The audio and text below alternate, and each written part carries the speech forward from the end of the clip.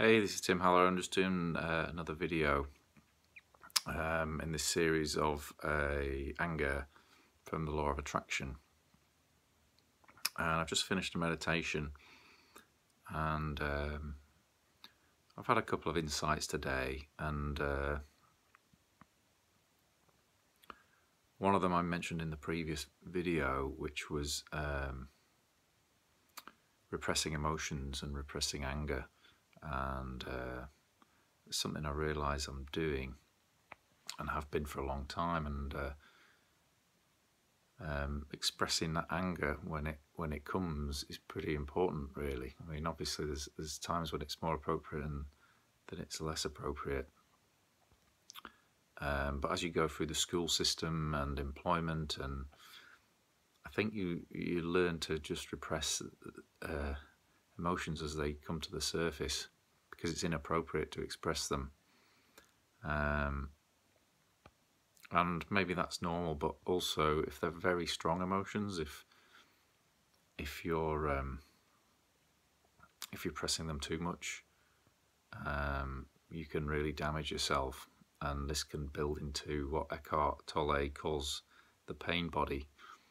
Um, so then you're this sort of frustrated bundle of, of angry energy, which if someone bumps into you, then they get all that previous uh, anger from all those uh, unresolved conflicts and all those open loops and all those little repressed moments of anger uh, that didn't come out.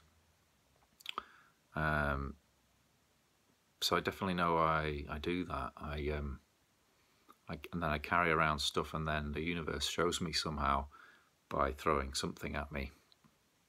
Um, and uh, so what, what came to me in this meditation just now was um, in terms of uh, wanting, uh, if you want something but you're, you're not allowing yourself to have it, uh, this can be for a number of reasons and one of them I picked up on was could be a, a belief. It could be based on something you picked up in school. It could be based on religion. And uh, "Thou shalt not want" is is uh, one of the Ten Commandments, I think. And uh, so that's got drummed into my head. But at the same time, I, I do want stuff. I want a, you know, a, a different life. I want to grow and change, and I want um, want to make more money. Um, so if there's a conflict inside, then it's not going to be uh, very conducive to taking the right actions and doing the right things because you don't believe you you don't believe you you should.